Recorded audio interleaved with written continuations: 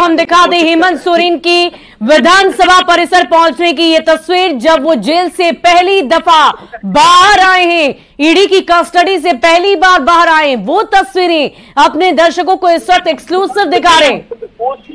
और हमारे संवाददाता के साथ साथ हमारे ब्यूरो चीफ भी विधानसभा परिसर में मौजूद हैं। दिवाकर जी लगातार हमारे साथ बने हुए दिवाकर जी क्या तस्वीरें? बहुत ही कड़ी सुरक्षा व्यवस्था और वहीं जो सरहद आप दिखा रहे थे हेमंत सोरेन क्या वहीं पर मौजूद रहेंगे?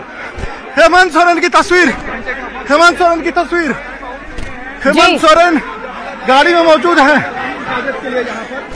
हेमंत सोरेन की तस्वीर देखिए। विधानसभा के पोर्टिको में गाड़ी लगी हुई है। गाड़ी के अंदर बैठे हुए हैं। लगातार ये तस्वीरें आपको मिल रही होगी। देखिए ये काफ़ी भीड़ हो गई है। मीडिया से बात करने की मनाही है उन्हें। हेमंत सोरेन